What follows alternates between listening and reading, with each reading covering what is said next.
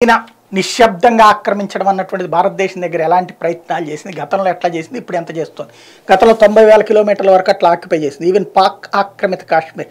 పాకిస్తాన్ ఆక్రమించుకుంటే దాని దగ్గర నుండి నిశ్శబ్దంగా చైనా కొంత భూభాగాన్ని తీసుకుని అక్కడి నుంచి బెల్ట్ అండ్ రోడ్ ఇనిషియేటివ్ చేస్తూ నాటకాలు ఆడుతూ వచ్చింది. అలాగా మన దగ్గర కొట్టేస్తే నేపాల్ దగ్గర నిశ్శబ్దంగా మొన్నటిసారి ఓలీ శర్మను అడ్డం పెట్టేసి సరిహద్దుల్ని మార్చేసింది. గతంలో ఉన్నటువంటి రాళ్ళను మార్చేస్తే దాని మీద విచారణకు ఆదేశించినటువంటి ఓలీ శర్మ చైనా ఒత్తిడితో సైలెంట్ అయిపోయాడు. ప్రస్తుతం అక్కడ దాని మీద ఎక్స్పర్ట్స్ ఒపీనియన్ నేపథ్యంలో ఈ నేపాల్ ప్రభుత్వం ఒక కమిటీని వేసింది. హమ్లా సరిహద్దుల్లో కబ్జా జరిగిందని తేల్చింది. పద్నాలుగు వందల కిలోమీటర్లు హిమాలయాల్లో చైనాకి నేపాల్కి సరిహద్దు ఉన్నటువంటి నేపథ్యంలో మౌంట్ కైలాష్ దగ్గర ప్రధానమైనటువంటి కబ్జా జరిగింది అన్నటువంటి విషయాన్ని గుర్తించారు. పంతొమ్మిది వందల అరవై మూడు పంతొమ్మిది వందల డెబ్బై రెండులో రెండు దేశాల మధ్యన కుదిరిన ఒప్పందాన్ని పక్కన పెట్టి మరి ఈ దోపిడీ జరిగింది అన్నటువంటి విషయాన్ని గుర్తించారు.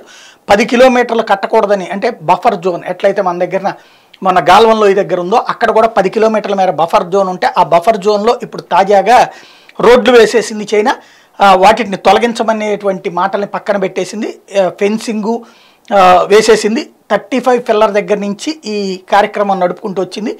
నూట యాభై కిలోమీటర్లు ప్రస్తుతం ఎగ్జిట్ ఎంట్రీ లాక్ చేసేసింది. నోమెన్ ఏరియాలో భారీ ఎత్తున కట్టుకొచ్చారు. హిమ్లా జిల్లాలో ఇదంతా జరిగింది. పంతొమ్మిది వందల అరవై ఒకటిలో పిల్లర్ నెంబర్ నైన్ దగ్గర ఇదే విధంగా దోచుకున్నటువంటి చైనా ఇప్పుడు తన పారామిలిటరీకి అక్కడ స్థావరంలాగా ఏర్పాటు చేసుకుంటుంది అన్నటువంటి విషయాన్ని ఐడెంటిఫై చేసింది నేపాల్. బట్ చైనా నా- అదంతా కూడా మా భూభాగమేనని మన దగ్గర ఎట్లయితే హడావిడి చేస్తుంది ఇప్పుడు చైనా దగ్గర కూడా ఇదే నేపాల్ దగ్గర కూడా అదే హడావిడి చేసుకుంటూ వస్తుంది.